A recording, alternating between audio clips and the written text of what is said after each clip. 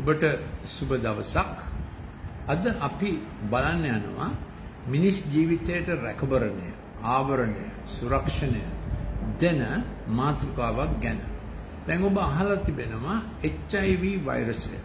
ඒකට සාමාන්‍ය මිනිස්සු කියන්නේ AIDS වෛරසය කියලා. මොකද ඒක නිසා හැදෙන ලෙඩේ නම acquired immunodeficiency syndrome. ඒ කියන්නේ අපගේ ප්‍රතිශක්ති ඌනතාවයක් ඇති වෙනවා HIV වෛරස් එක ආසාදනය කරාම. එක්දස් නම්සය හැත්ත හතර විතර අපි මෙඩිකල් පැකල්ජ එක ඉන්නකොට අපිට දැනගන්න ලැබුණ ප්‍රවෘතියක් අමරිකාවේ සෑහෙන මේ ශක්තිමත් පුරුෂයෝ මැරෙනවා කියලා අමුතු ජාතිය නිවමෝනය එකක් හැදිලා. කවුරුත් දැනන් හිටියේ නෑ මේකට හේතුව මොකක්ද කියලා. පස්සේ තමයි තේරුනේ ඒකට හේතුව වෛරසයක්. ඒ වෛරසය නිසා ප්‍රතිශක්ති ඌනතාවයක් ඇති වෙනවා. ඒ කියන්නේ acquired immune deficiency syndrome කියන්නේ ප්‍රතිශක්ති ඌනතා සංදානය. ඒ වෛරස් එකේ නම HIV human immune deficiency uh, වෛරස්. ඒ කියන්නේ මිනිස් ප්‍රතිශක්ති ඌනක වෛරසය. ඉතින් ඒක පැතිරෙන්නේ කොහොමද? එක් එක් පිරිමි අය එක් එක් එක්කෙනා සමග සමලිංගික සමදතා ඇති වෙලා තමයි ඒක පැතිරෙන්න පටන් ගත්තේ. දැන් කවුරුත් ඒ රෝගය ගැන දැන් දන්නවා. දැන් අපිට දේවචනේ පොරොන්දුවක් තිබෙනවා අපගේ රැකවරණය ගැන. තව වෛරසයක් තියෙනවා human papilloma virus කියලා.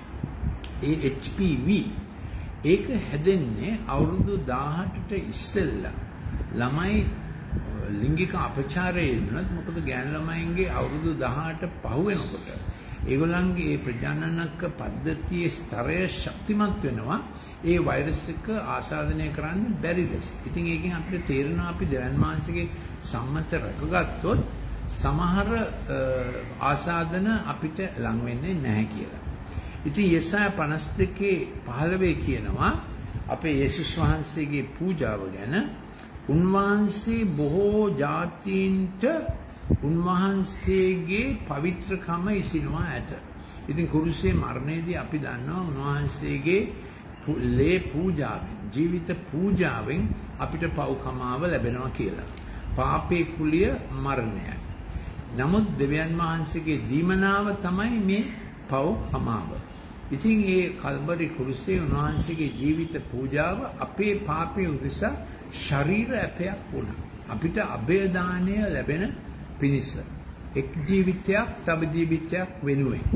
ඉතින් දැන් උසාවියේ නම් ප්‍රාණයපයක් ගන්නවනේ අනිත් එක්කනව නිදහස් කරන්න ඒ කියන්නේ ඊළඟ නඩු දවසට එයාව ප්‍රොඩියුස් කරන්න ඕන. නැත්නම් ඔයාව අත්අඩංගුවට ගන්නවා. යේසුස් වහන්සේගේ ඒ පවිත්‍ර නිර්මල එක ජීවිතය ලෝකේ හැම මිනිස්යාගේම පාපය සඳහා අප වුණ කැප වුණා. ඒ පාපේ මිලය කුලිය දණ්ඩනය උන්වහන්සේ ගෙව්වා. කිසිම පවක් නැත්තව අපි හැමෝම දන්නවනේ. උන්වහන්සේට කිසිම පවක් තිබුණේ නැහැ. ඒ උන්වහන්සේ තම ජීවිතයෙන් ගෙවූ පූජාව ගැන තමයි මේ කිව්වේ ලේ ඉසිනවා ඇත කියලා. සියලු જાතින්ට ඕනෑම කෙනෙක්ට ඔබගේ තරාතිරම කුමක් වුණත් ඔබගේ යටගියාවේ ජීවිතය කොපමණ නරක වුණත් උන්වහන්සේගේ ලේ සෑහේ උන්වහන්සේගේ පව්කමාව සෑහේ උන්වහන්සේ වර්තමානයේ පාපය කමා කරනා විතරක් නෙමේ ඒ පාපේ ප්‍රවණතාවය මකනවා. ඒ කියන්නේ හිතේ ඇඳිලා තියෙන සිතුවිලි හෘද සාක්ෂියේ ඇඳිලා තියෙන පරස්පර විරෝධී ගති පැවතුම් තාත්තගේ පැත්තෙන් ආපු අයිතුකම් අම්මගේ පැත්තෙන් ආපු අයිතුකම් ඊට ඉස්සෙල්ලා પરම්පරාවකින් ඇඳුණු ලියවුණු පාප ප්‍රවණතා මකලා දානවා ඒ කියන්නේ අර ගොඩාක් කුරුටු ගාපු පොතක් මාක් එකක් නැතිව කැලලක් රැල්ලක් නැතිව මකලා දාන්න පුළුවන් මකණයක් තමයි යේසුවන්සේගේ මේ ලේ ඉසීම. තමුන්ගේ ඉතින් මේ යේසුවන්සේගේ ලේ ඉසිනවා රජවරු උන්වහන්සේ නිසා තමුන්ගේ මුඛය වසා ගන්නවා ඇත. ඒ කියන්නේ රජවරු වැරදි නීති ගෙනල්ලා වැරදි පනත් ගෙනල්ලා දුෂ්ට දේවල් කරන්න හැවිද්දත් කට ඇරියත් බරපතල ප්‍රකාශන කරත් මෙහෙම කට්ටියක් ඉන්නවනම් උන්වහන්සේගේ ලේවල ආධිපත්‍යයෙන් යහපත කරන්නා වූ යහපත පවසන්නා වූ යහපත ලියන්නා වූ යහපත සඳහා මැදහත්කම් කරන්නා වූ කට්ටියක් ඉන්නවා නම් ඒ රජවරුන් කරන දුෂ්ට දේවල් රටවල් වලට බලපාන්නේ නැති විදිහට ඒගොල්ලන්ට පුළුවන් රටක් ආරක්ෂා කරගන්න. මක් නිසාද ඔවුන්ට කියා නුදුන් දේ ඔවුන් දකින්නවා ඇත. ඒ කියන්නේ රජවරුන්ටත් පේන්න පටන් ගන්නවා සාධාරණය මේකයි. හරි දේ මේකයි. ඔවුන් නොඇසූ දේ තේරුම් ගන්නවා ඇත. ඔවුන්ට වැටහෙන්න පටන් ගන්නවා සත්‍යතාවය. දැන් වහන්සේගේ නාමයට ප්‍රශංසා වේවා. සුභාරංචිය පැතිරෙනකොට පළවෙනි ශතවර්ෂයේ එහෙම තමයි ඒ කිසිම දෙවන් වහන්සේ ගැන බයක් දැනීමක් තිබුණේ නැති જાතින් දේශයන් ක්‍රිස්තුස් වහන්සේගේ සුභාරංචිය පිළිගන්න පටන් ගන්නකොට ඒ දේශයන් වෙනස් වුණා. ඒ දේශයන් වල තිබුණු දරුණු පාප අඩු වෙලා ගියා. ඒ කියන්නේ රෝම අධිරාජ්‍යයේ ළමයි මරනවා කිසිම මේ ගාණක් නැතුව.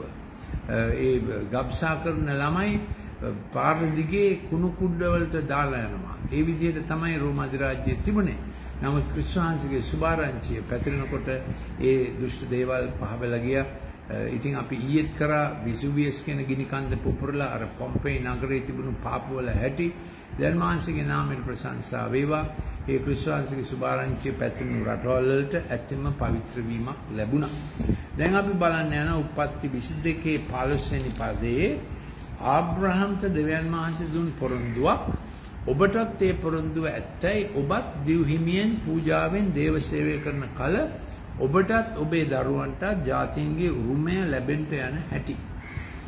හොරගම් කරන්නේ නැතුව, බලය පාන්නේ නැතුව, දේශපාලන බලය නැතුව නමුත් දෙවියන් වහන්සේගේ සමෘද්ධියෙන් කොහොමද දෙවියන් වහන්සේ ඔබ ශාස්ත්‍රීය කරන්නේ සමෘද්ධිමත් කරන්නේ උප්පත්ති 22 15 ස්වාමින් වහන්සේගේ දූතයා දෙවෙනි වරටත් ස්වර්ගයේ සිට ආබ්‍රහම්ට හඬගසා ඔබේ පුත්‍රයා ඔබේ එකම පුත්‍රයා වළක්වා නොගෙන මේ දේ කළ බැවින් මම ඒකාන්තයෙන් ඔබට ආශිර්වාද කරන්නෙමි. ඒක තමයි සේවයේ සම්මතය. අපගේ ජීවිත පූජාවෙන් සේවය කරනකොට දෙයන් වහන්සේට ඒක පේනවා. මම ඒකාන්තයෙන්ම ඔබට ආශිර්වාද කරන්නේ. මේ කියන්නේ දෙයන් වහන්සේ තමන්ගේ නමින්ම පොරොන්දුවක් වෙනවා. අහසේ තාරකාමෙන් මුහුදේ වෙරළෙහි වැලිමෙන් ඔබේ වංශය බොහෝ සෙයින් වැඩි කරන්නෙමි. ඔබේ වංශය Taman සතුරන්ගේ දොරටු හිමි කරගන්නේ. ඒ කියන්නේ ඔබ ජීවත් වෙන ප්‍රදේශයේ තිබෙන සතුරු දේවල්, හොඳ නැති දේවල්, දැන් මාංශිකේ නාමයට අගෞරව කරන දේවල්, ඒ ඔක්කොම ඔබගේ ප්‍රකාශනයට ජීවිතයට යාඥාවට යටත් වෙලා ඒ සතුරුකම් බල රහිත වෙනවා. ඒකයි දැන් මාංශිකේ පොරොන්දුව. ඔබගේ ව්‍යාපාරය කරගෙන යෑමට දැන් මාංශේ දොරටු විවෘත කරනවා. අවහිරකම් අහක් කරනවා. ඔබට විතරක් නෙමෙයි ඔබේ ඊළඟ પરම්පරාවට. එක දෙයක් අවශ්‍යයි දෙමාපියෝ දරුවන්ට කියලා දෙන්න දිව්හිමියෙන් සේවය කරන හැටි. දෙවියන් වහන්සේට පූජාවකින් කැපවීමකින් සේවය කරන හැටි. ඒ නිසා අපේ ක්‍රිස්තුස් වහන්සේ කුරුසියක් මත පිට උන්වහන්සේ මැරුණා. උන්වහන්සේ මිනිස් විසින් ඇවිල්ලා ඊට යටහත් සේවයක් කරා. ඒ නිසා දේව සේවය කරන අය බලය පෑම සහ ධනය පෑම යුතු නැති වැඩක්. අපි බලය කතා කරන්නේත් නැහැ, අපි ධනය කතා කරන්නේත් නැහැ. අපි කතා කරන්නේ ක්‍රිස්තුස් වහන්සේගේ විශිෂ්ටත්වය. ඒක මතක තියාගත යුතුයි. එතකොට උන්වහන්සේ පොරොන්දු වෙනවා අපේ වංශයටත් උන්වහන්සේගේ ආශිර්වාදය. තමන්ගේ ඔබගේ වංශය තමන් සතුරන්ගේ දොරටුව හිමි කරගන්නේය. මාගේ ශබ්දයට ඔබ කීකරු නිසා ඔබේ වංශය කරන කොටගෙන පොළවේ සියලු ಜಾති වූ ආශිර්වාද ලබන්නෝය. මේක ආබ්‍රහම් ගැනත් ඇත්ත අපේ වංශය ගැනත් ඇත්ත. ඔබ යේසුස් වහන්සේ ගැන ජීවත් වෙන විට ඔබගේ දරුවෝ යේසුස් වහන්සේව පිළි අරගෙන ජීවත් වෙන විට ඔවුන් නිසා තව බොහෝ අයක් මේ ආශිර්වාදයට එනවා. දෙවියන් වහන්සේ ඔබට ආශිර්වාද කරන සේක්වා මම ඩොක්ටර් ලලිත් මෙන්ඩිස් තව මේ වගේ ආත්මික සහ විද්‍යාත්මක ක්ලිප්ස් අවශ්‍ය නම් මේ WhatsApp එකට එවන්න පොඩි පණිවිඩයක්. 074 211 50 11 මගේ ඇප් එක ලබා ගන්න ඕන නම් golden nuggets what මේ app store එකකින් හරි google එකකින් හරි ලබා ගන්න පුළුවන්. ස්වාමීන් වහන්සේ ඔබට ආශිර්වාද කරන සේක්වා. ඔබටත් පුළුවන් මේ ස්වාමීන් ඔබගේ හදවතට පිළිගන්න. ගැලවුම් කරුවාන ලෙස එනේරා ලෙස. God bless you. එට හමු වෙනතුරු